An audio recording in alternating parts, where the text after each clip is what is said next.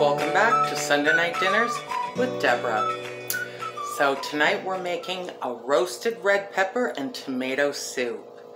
I make a lot of soup, even in the summer, because it's a delicious meal, super easy, and it's quite economical. I try and have soup once or twice a week, and for extra special soups, I will serve it for Sunday night dinner. The first thing that we have to do for the soup is roast two pounds of red peppers. Now you can do this in a lot of ways. You can cut them in half, seed them, toss them in oil, and roast them in your oven for about 45 minutes. But right now it's too hot to do that. So I'm gonna take them out to the barbecue and we are going to roast them on the barbecue and then bring them in, cover them with aluminum foil, let them sweat underneath their blistered skins, and then we can remove the skins and we'll have perfect roasted red peppers for our soup. I'm doing it at the same time that I'm barbecuing for another dinner. So I have a little bit of oil on my red peppers and you just set them on. They are gonna blister and turn black and that's exactly what you wanna do. And I'm also gonna put the fish on for hubby. Okay, now we're just gonna turn them over and see they've started to blister. That's what you wanna see. It takes a while, but what it does is it blisters the skin off. Coming along briskly, and they're coming along really nicely. They're ready. They're softened. And they're blistered on all sides. So we just put them back in a bowl and we bring them inside. Okay, so we've brought them inside and now we're just gonna cover it up with oil because what it does is steam inside the bowl.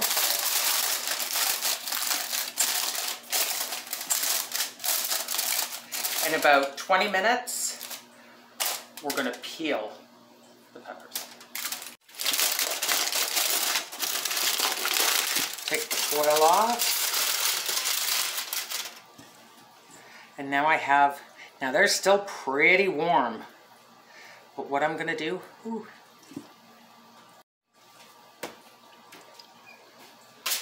they're still too hot. So I'm gonna wait another 10, 15 minutes. So we're trying again. So what we do is you push the core out and you set that aside. Okay, and now I'm opening it up and there's gonna be a lot of juice running out of it. And I'm ripping the pepper in half.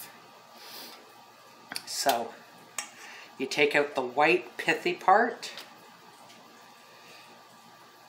and you take out all the seeds.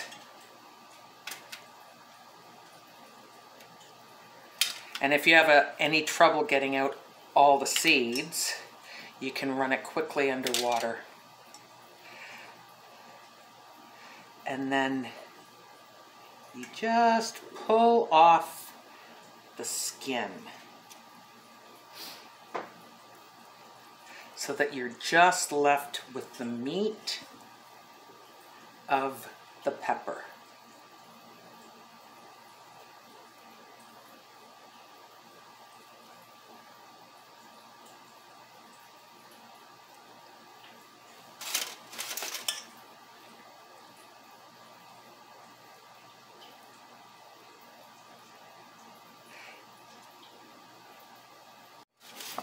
So they're all done.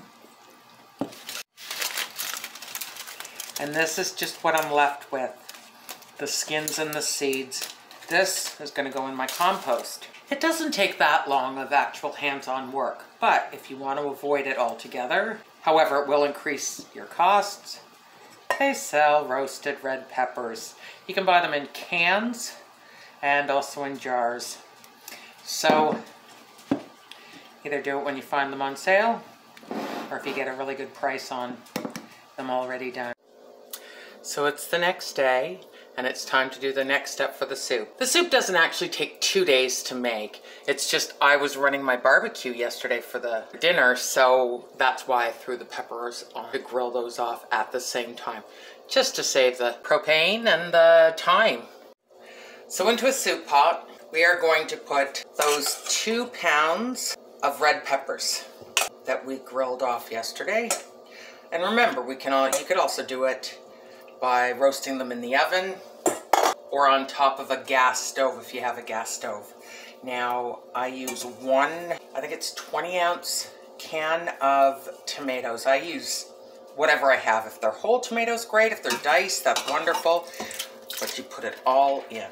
This really is the simplest soup, but so delicious. And I'm putting in a half liter of vegetable stock. If you don't have vegetable stock, you can use chicken stock. Next is three tablespoons of white sugar. Now that might seem a lot for a soup, but you need to combat the acidity of the tomatoes. Give that a stir. And now I'm not gonna put in any salt or pepper until the vegetables have all cooked and the tastes have melded together so we can actually tell how much salt and pepper and the remaining ingredients to go in. So now you just bring that up to a boil. Once it comes up to a boil, we're gonna drop it down to a simmer and simmer it for about 40 minutes. So it's about 40 minutes later, but our soup is nice and cooked. The tomatoes are all kind of broken down. The next ingredient is two tablespoons of butter and a quarter cup of whipping cream. Now we just give that a little stir, but it still doesn't look terribly appetizing. Now here's where the magic happens. A hand blender.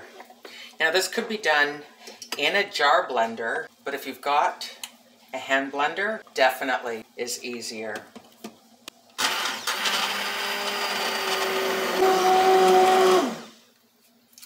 Now just run my spoon through, and yes, it is complete. So now I'm gonna taste it to get an idea of how much salt, because each batch of soup is different. So I'm gonna add about half a teaspoon of salt and taste again. Perfect. And a quarter teaspoon of fresh black pepper.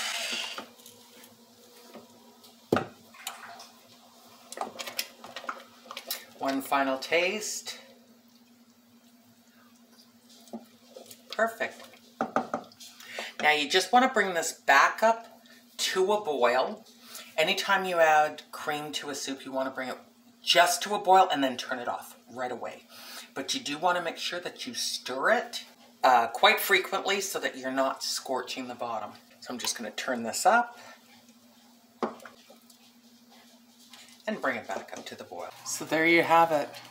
A couple of bowls of rich, indulgent roasted red pepper and tomato soup served with a nice slice of homemade bread. Perfect, even in the heat of the summer. Thank you for joining me for Sunday Night Dinners with Deborah, and we'll see you again.